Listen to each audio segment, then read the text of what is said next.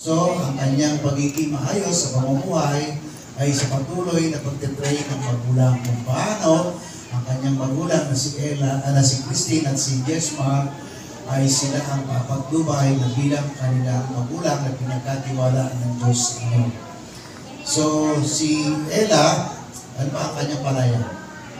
Rhea. Si Bria, Rhea, same thing to Rhea, the way she lived and her destiny is in your hands. Katulad ng palaso.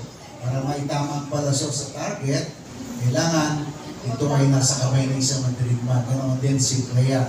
No, kanyang buhay at kinabukasan ay nasa kamay ng kanyang mga magulang. I pray the way you live and the way you honor God in your life is the way your daughter lives. May she not only bring honor to you but also bring glory to our God. Shape and soften her the way God wants her to be. Claim God's promises in Jeremiah 29:11, sabi nga ng Panginoon, For I know the plan I have for you, a plan for good and not for evil, but to give you, to give you hope in a better future. So ang magandang balita sa buhay ni Brea, nang siya'y pinagkaloob sa inyo, may nakalaan ng Diyos na magandang pagpapala. May nakalaang magandang kinabukasan. At ang batang yan ay tiyak na pagtatagumpay ng Panginoong Diyos. He, already declares the end from the beginning. So ang isang bagay lang, may proseso yun, siyempre. At yun ay nasa pagsisikap ninyo Christine and Jesmar.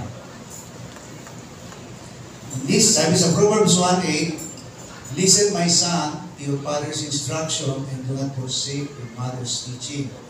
So the scripture clearly stated that the father and the mother is the one who will be responsible for their child.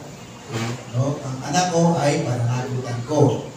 So God did not authorize the state, the village, or the daycare center to raise their children. God authorized the mommies and the daddies to take care of their child. So parents, if you are dreaming to have a child that give honor, submissive, responsible, and be your crown, start parenting today. Now, if you believe that she is your heir, at kung kayo naniniwala na siya magiging tagapagmana niyo, hindi lamang niyo siya pagyay- pagyayamanin ng kayamanan na pangmaterial o pinansyal, pero pagyamanin niyo muna siya ng karunungan na kung paano mamamahala ng mga bagay-bagay. So, sabi doon sa John 8.12, the world. He that follows me shall not walk in darkness, but shall have the light of life. As far as the life of man is concerned, living requires light, or else your life will be full of darkness. It is the only way man's for life success. No, sabi sa John 15, apart from me, you can do nothing. So to the parents, uh, Christine and Jesmar, pe, uh, will you please rise? Pakihawak po ng isang kabila. Kaya mamawak ng Jesmar. Sige, si Christine na lang pakihawak mo. So, Jesmar and Christine, from this time on, as we have this ceremony, you are receiving this candle as you receive this uh, responsibility. Willing po ba kayo na tanggapin nyo ng buong puso at buong buhay ang pinagkaloob sa inyo ng isang batang napakaganda na si Brea